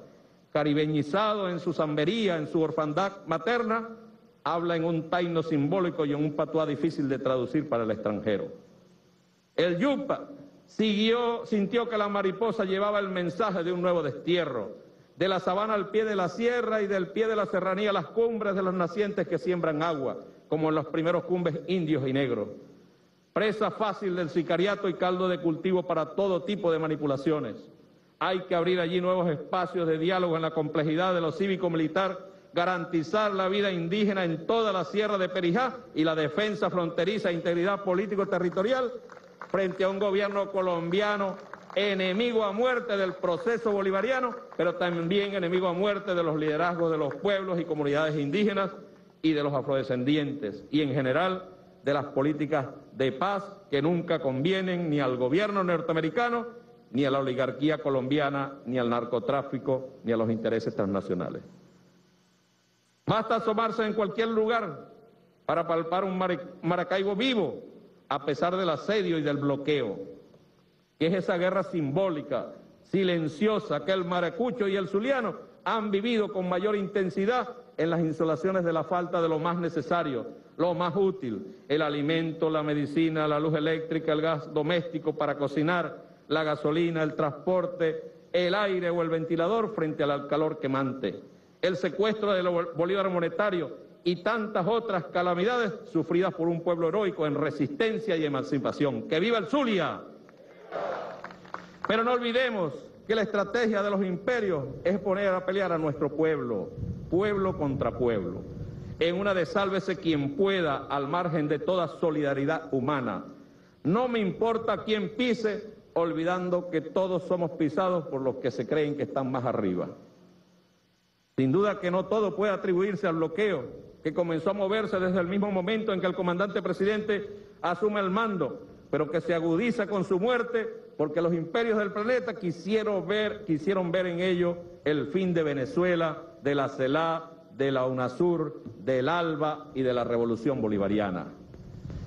Y desmontar los gobiernos de avanzada en todo el continente para aislar a Cuba y a Venezuela. No todo es bloqueo, pero la crisis es mundial y de gran envergadura. Con la decadencia de la primera potencia del planeta, como lo vimos en los últimos días, con la elección del nuevo presidente y el presidente saliente. Así como no todo el problema del imperialismo era Trump, pero era un problema y una amenaza real a la paz mundial. Que la salida de Trump no garantice la paz mundial ni la paz interna de Estados Unidos, todo eso es verdad. La estructura del apartheid norteamericano es contra natura, es contra la paz, es contra la vida misma. Pero como lo ha planteado nuestro hermano presidente Nicolás Maduro, hay que dialogar con el nuevo presidente de Estados Unidos con sentido de dignidad y respeto. Hay quienes les cuesta entender esto y ven en ello una señal de entreguismo o debilidad a las transnacionales, pero le siguen poniendo precio a la cabeza de nuestro presidente y a muchos de los nuestros. Nosotros sabemos que la guerra interna y externa de Estados Unidos está a flor de piel y apenas comienza. Frente a la crisis descomunal y a la pandemia, nuestro compromiso es con la vida, contra las guerras imperiales e imperialistas, por la paz con justicia del profeta Isaías. Nuestro compromiso es con la vida frente al manejo de la pandemia para reducir la población mundial, la sobrevivencia del más apto, y el más apto es siempre el que tiene con qué pagar y con qué comer. Y la otra cuestión en juego es la intolerancia macartista, la eliminación fascista de todo el que sea contrario políticamente al capitalismo neoliberal y de todo país independiente. Esta intolerancia política es para acusar de comunista todo aquel que cuestione el actual desorden mundial y la destrucción de la vida sobre el planeta. Todo esto va acompañado de la intolerancia religiosa y étnica para propiciar guerras civiles internas y enfrentamientos ante países hermanos y así justificar la ocupación en caso de ser necesario. Este es el enfrentamiento de pueblo contra pueblo, que Paulo Freire llama violencia horizontal, para combinarla con la lucha de clases que nos hace a nosotros como pueblo la burguesía, como clase y los imperios occidentales. Pero ellos siempre, ellos siempre quieren hacernos entender que la lucha de clases la inventamos nosotros, los socialistas y los revolucionarios. Buscan siempre que los pobres financiemos la pandemia y las crisis que ellos mismos crean. Está incluso programado hasta la desaparición de los llamados sectores medios para igualar siempre hacia abajo en la miseria las grandes mayorías. Eso era lo que ellos decían que intentaría hacer el socialismo si llegara a tomar el poder. Pero la crisis es general en todo el planeta, con el agotamiento de la vida. Al mismo tiempo, se tratará de achacar la crisis y todo el empobrecimiento progresivo a los gobiernos populares, donde haya gobiernos populares de izquierda o de avanzada, o gobiernos que sin ser socialistas quieran ser independientes. Entonces se apela a desestabilizarlos y a desmembrarlos territorialmente, como lo han hecho en los Emiratos Árabes, como lo hacen ahora en Libia, argumentando que no son repúblicas sino tribus y por tanto sujetos a regímenes de sección. También se ha hecho con Haití, la primera república negra antiesclavista en el continente.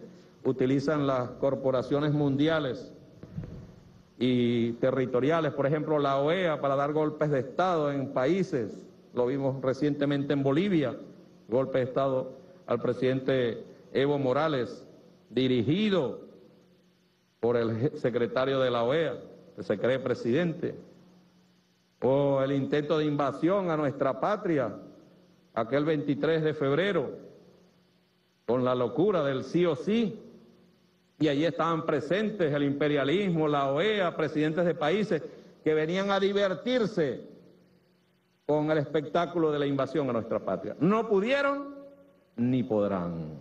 Este pueblo no se rinde ni se va a rendir jamás. El bloqueo imperialista de Estados Unidos e imperial de Europa es una especie de santa alianza contra Venezuela de todo el mundo blanco, anglo, norteamericano y europeo y del sionismo. Hoy el señor canciller de la Comunidad Europea, el señor Borrell, decía que ellos no querían opinar hasta tanto Estados Unidos no fijara posición con respecto al tema de Venezuela. Qué vergüenza, ¿no? El señor Biden no solo se juramentó como presidente de Estados Unidos, sino que parece que se juramentó como presidente de la Unión Europea. Hay que pedirle permiso a los europeos para entender que Venezuela ha sido sometido, el pueblo de Venezuela ha sido sometida a un castigo con, las con el bloqueo y las sanciones.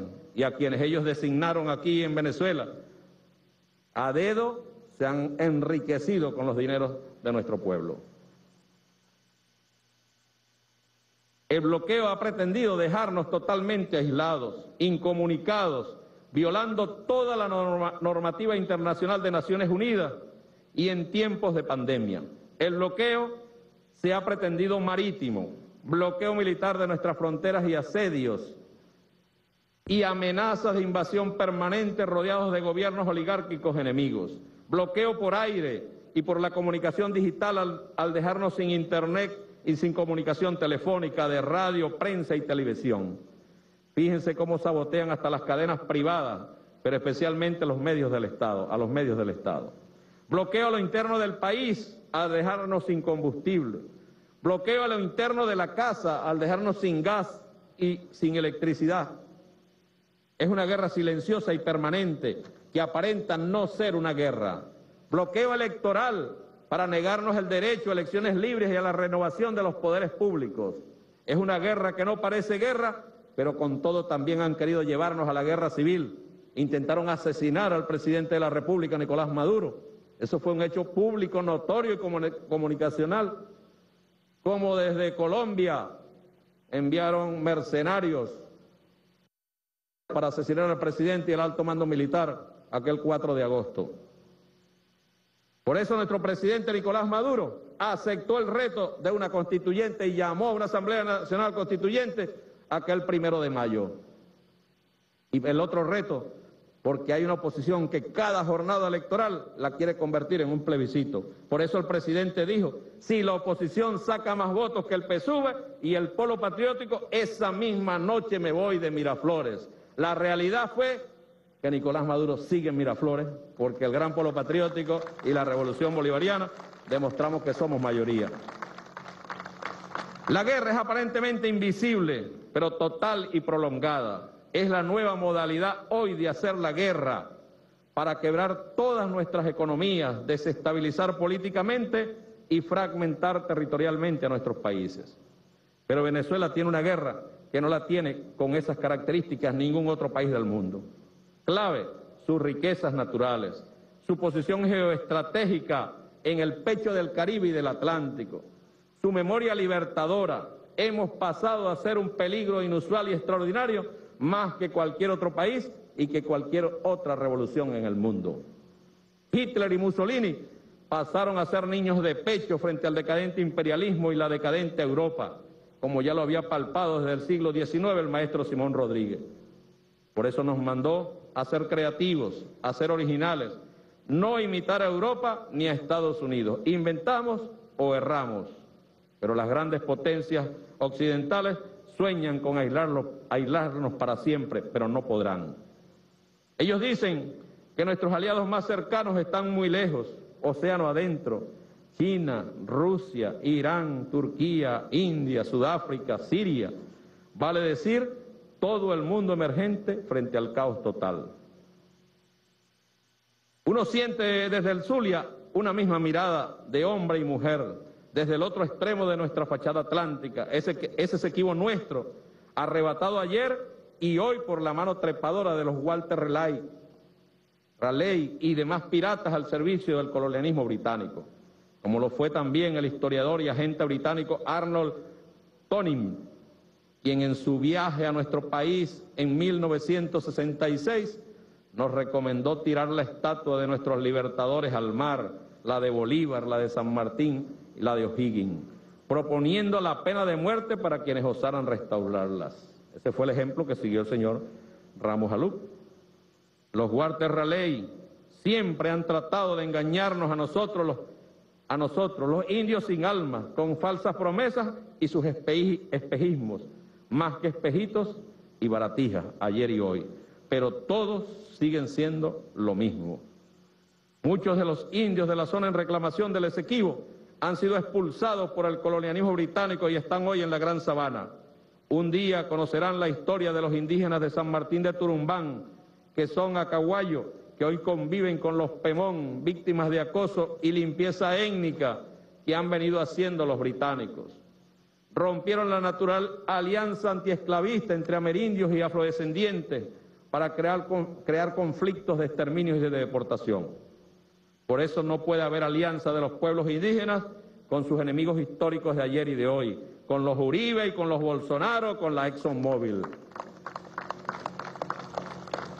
Los peores son los Francisco Fajardo de ayer y de hoy, aquellos indios aculturados al servicio de sus enemigos, declarados y permanentes, de los nuevos Bélsares y de la ExxonMobil para la entrega del territorio exequivo en reclamación. Esos son los sin nombres, presidentes nombrados a dedo por Trump, desde la Casa Blanca, mal llamados autonombrados o autoproclamados. Hubo un momento, con esto no quiero para nada alabar a quien es protagonista de alguna manera de esta anécdota. En la vida de Juan Vicente Gómez le mandaron una carta del Palacio de Gobierno de Bogotá la propuesta era que la oligarquía bogotana solicitaba en Caracas una plaza principal a todo dar para el general Santander. Cuando Gómez recibe el telegrama, se levantó molesto y dijo, dígale al Palacio de Bogotá que Caracas está de acuerdo con la propuesta de la plaza, de la plaza central para Santander, pero pedimos con la misma centralidad y categoría una plaza en Bogotá para el general Rafael Urdaneta. Y en verdad no, no queríamos, no queremos para nada hacer sentir a Gómez como un héroe. No, no. simplemente refleja la grandeza de Urdaneta, de Rafael Urdaneta. Y sabemos que Rafael Urdaneta, desde su posición de bolivariano, siempre, siempre defendió a Bolívar de los santanderistas y de Santander, a todo trance. Cuenta la historia inclusive que cuando iban a fusilar a, a Santander, o parte de la historia, Bolívar decide perdonarlo y Santander le decía que no lo perdonara. ¿Ah? Urdaneta.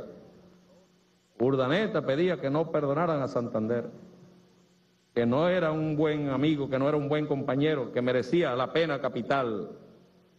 Pedro Carreño dice que Urdaneta era el disciplinario de las fuerzas bolivarianas.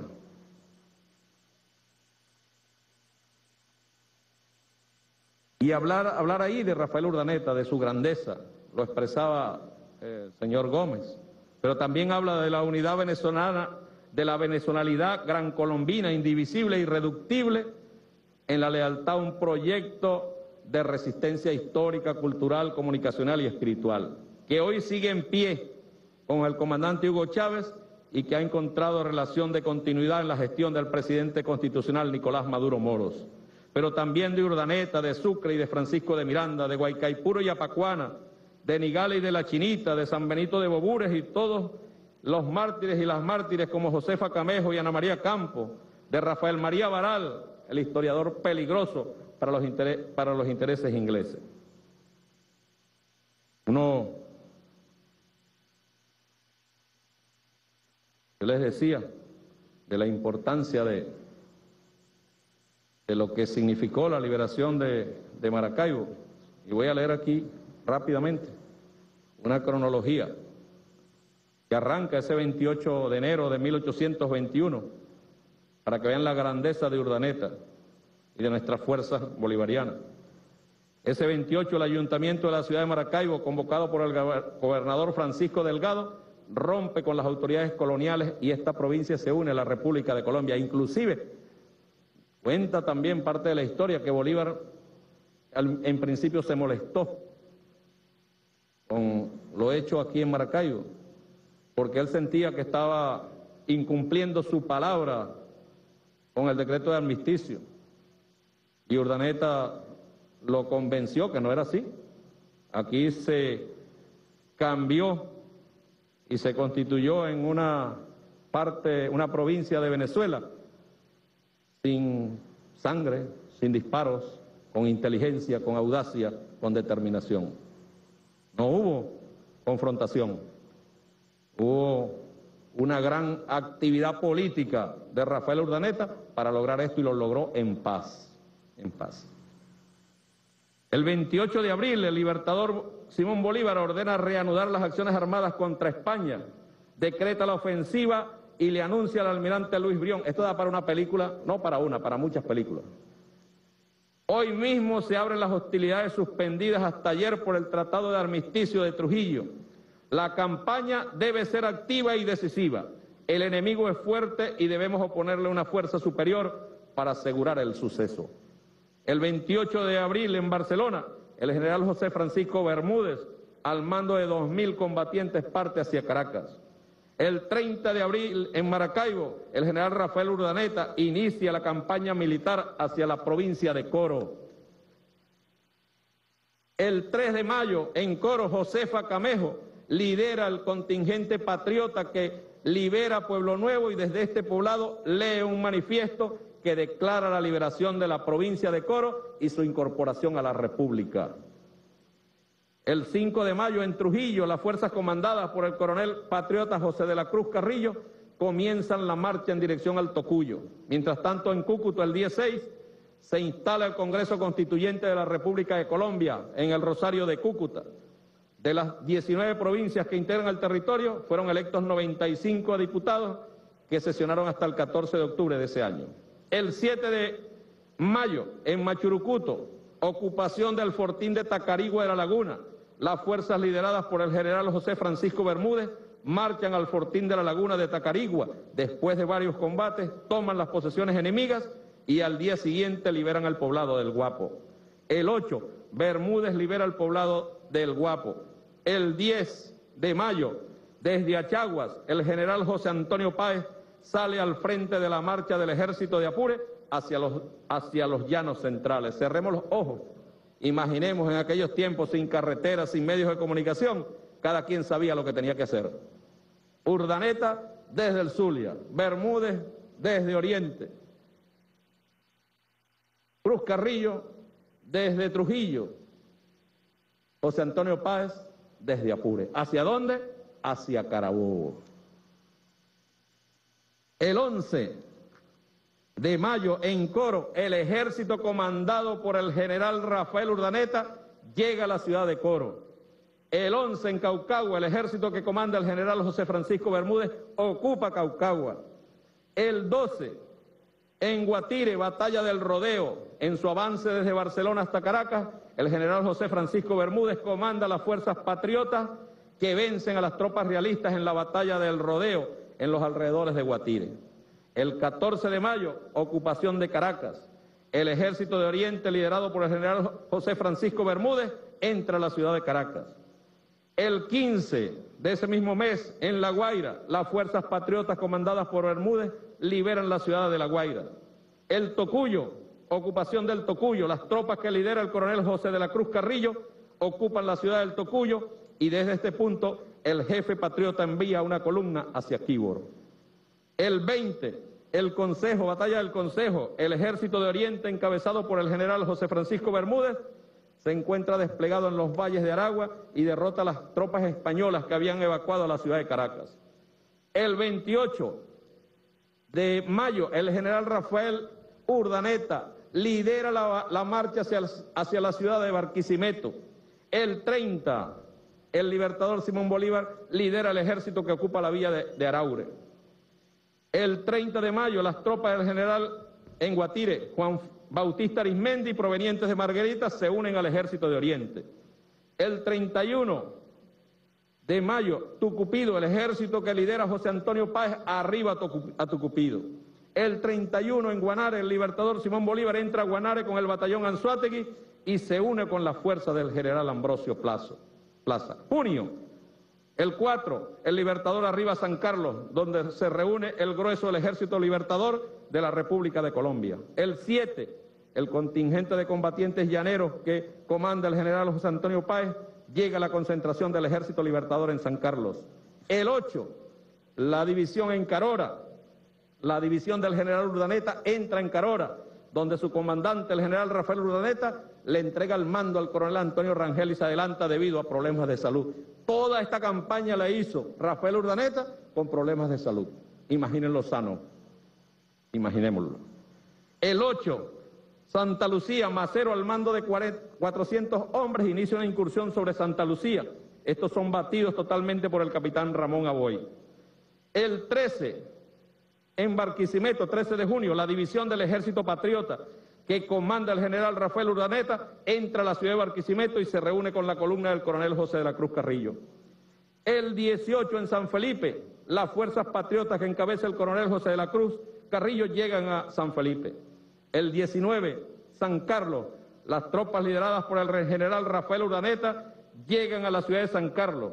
Por razones de salud, Urdaneta debe permanecer en, en Carora y no puede estar en Carabobo. 24, de junio, campo de Carabobo. Victoria del Ejército Libertador en la batalla de Carabobo. Cifras aproximadas señalan que el bando realista perdió 2.500 combatientes y más de 2.000 quedaron heridos. Por su parte, las fuerzas patriotas contaron 300 bajas entre fallecidos y heridos.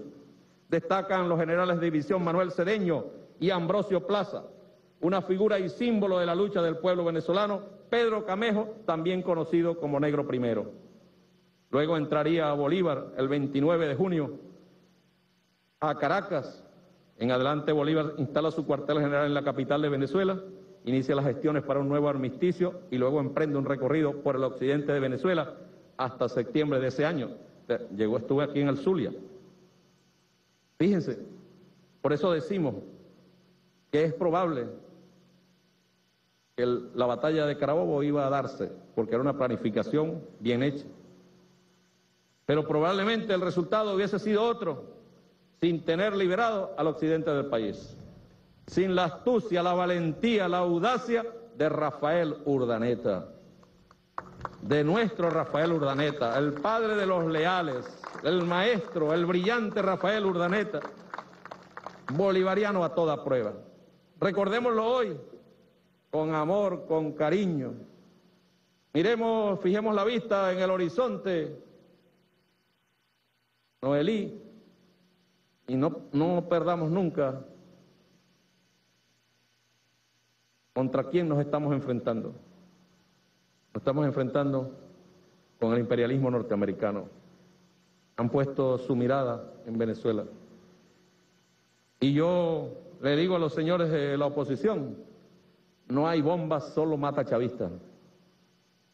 No hay misiles, solo mata chavistas. Cuando el imperialismo ataca, lo demás son daños colaterales. No les importa el número de víctimas. Odian la humanidad.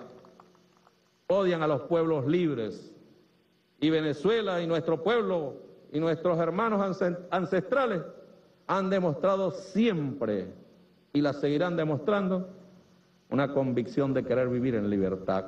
Estamos convencidos que tenemos que vivir en libertad, soberanos, independientes, que no tengamos que depender de nadie, que los asuntos internos de Venezuela los resolvemos los venezolanos y las venezolanas. No perdamos de vista a quién enfrentamos. No nos desgastemos en luchas estériles. No hagamos, le hagamos el juego a la política imperialista que quiere que entre hermanos iniciemos una guerra. Que nos encuentren unidos si algún día vienen contra nuestra patria. De todos los colores y nos encuentren unidos, rodilla en tierra, defendiendo a nuestro país, defendiendo a nuestros niños, defendiendo nuestro territorio. Y hoy día, hoy día, yo lo digo en varias ocasiones, lo he dicho, hace 200 años estos hombres valientes y mujeres valientes lucharon contra el imperialismo español. Era el imperio más poderoso de la época, imperio. Y hoy, 200 años después, la historia y la vida nos ha dado la oportunidad de ponernos al frente en una, en una lucha muy parecida. Pero nos enfrentamos aún al imperio más poderoso de todos los tiempos. No de este momento, sino de todos los tiempos. Poderío armamentístico, mediático, financiero, de manipulación. Y nos estamos enfrentando a ellos. Y estoy seguro que 200 años después haremos lo mismo que hicieron nuestros antepasados, nuestros ancestros. Los volveremos a vencer en el terreno que quieran. Los vamos a vencer porque estamos dispuestos a ser libres. Hermanos y hermanas, yo solo me queda despedirme con un abrazo grande, grande, grande a mis hermanos indígenas. Con ellos comenzó todo aquí, con ellas comenzó todo. Y de ahí venimos nosotros, de ahí venimos nosotros, de esa historia de nuestros pueblos originarios. Yo lo dije en estos días, lo repito nuevamente, cuando estaba en mi enfermedad, lo viví clarito, muy claro. En una de, esas situaciones de, la enfermedad, yo sentí que fallecí, morí pues. Y los pueblos de la laguna de Sinamaica reclamaron mi cuerpo a mi familia. Por alguna razón, no me pregunten cuál es, ¿no? Alguien me mandó en estos días el estudio de mi sueño, muy bonito por cierto, y me llevaron a la laguna de Sinamaica. Y ahí estaban mis hermanos indígenas y me llevaban en una canoa junto a otros, porque yo era, según lo que viví, era un guerrero de ellos, un soldado, uno más, ahí en esa batalla. Y de repente uno de ellos dijo, el capitán está vivo. Mire, esto lo viví yo, de verdad. El capitán está vivo. Y al otro se le acercó, ¿cómo va a estar vivo? No está vivo. Sí, está vivo. Y me llevaron, me sacaron del agua de la, de la canoa y me llevaron a una, una, casita, una choza. Y ahí me atendieron. Y ahí me revivieron, si se, si se puede utilizar el término. Y en verdad, yo no sé si fue sueño, pero yo lo viví. Y agradezco profundamente ese amor y ese cuido. Mire, y lo repito también, yo tenía ahí, donde yo estaba, por las medicinas que le ponen a uno, había una gente como que me estaba vigilando, cuidando. No me querían hacer daño, eran, estaban ahí al lado, vigilantes. Eran mis hermanos indígenas. Estaban allí cuidando mi sueño, cuidando mi enfermedad. Y uno siempre vuelve a sus orígenes. Por eso aquellos que se creen que son estiraditos, que son de clase pura, de raza pura, que no tienen nada de indio de negro, no saben lo que se pierden. Porque qué sabroso es sentirse indio y sentirse negro. ¡Que viva la patria! ¡Que viva el Zulia! ¡Que vivan los pueblos originarios! ¡Que viva Rafael Urdaneta! Y les voy a decir algo, que viva la novena estrella de Maracaibo. Independencia y patria socialista. Hasta la victoria siempre. Nosotros venceremos. Me despido con un minuto de aplauso para Rafael Urdaneta.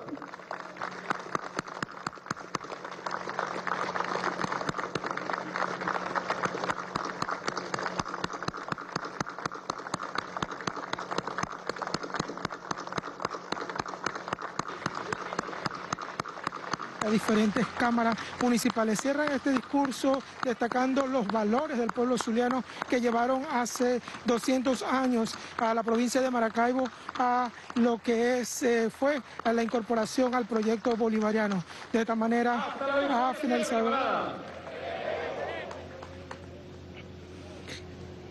Clausura de la sesión solemne conjunta. Por Importante parte de destacar que durante el discurso. Presidenta del Consejo Legislativo del Estado Zulia.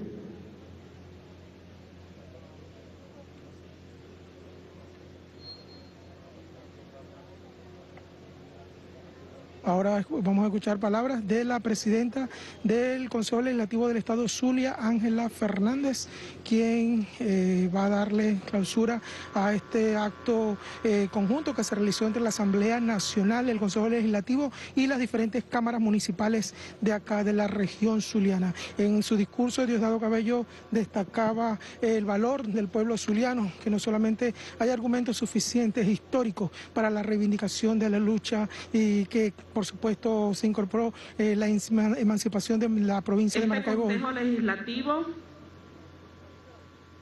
orienta al secretario que publique este mensaje maravilloso que nos ha dado nuestro orador de orden, capitán Diosdado Cabello, a todos los zulianos y que sea leído en todas las instancias educativas del Estado Zulia. Bien, agradeciendo la presencia de nuestro orador de orden, capitán Diosdado Cabello, el alto mando militar, los diputados patriotas de la Asamblea Nacional, nuestro gobernador Omar Prieto, legisladores del Consejo Legislativo, alcaldes, alcaldesas, concejales, concejalas y a todo el pueblo zuliano, se clausura esta sesión solemne en la cual hemos rememorado la gesta histórica de nuestros mártires y héroes. Aquí, desde la Maracaibo bolivariana, decimos con Simón Bolívar, con el general Rafael Urdaneta, con Ana María Campos y con nuestro comandante Hugo Rafael Chávez Fría, que viviremos y venceremos, leales siempre, traidores nunca. Ha concluido esta sesión. Bien, de esta manera finaliza la actividad del bicentenario de la reparación, de la emancipación de la, de la, emancipación que se dio de la provincia de Maracaibo, 200 años que, con, el que también se inicia el ciclo bolivariano, eh, camino que llevó hacia la gesta independentista de la batalla de Carabobo. Es la información que tenemos hasta ahora en el estado Zulia y con ello con, la retirada de las autoridades, devolvemos en contacto a los estudios en Caracas. Adelante.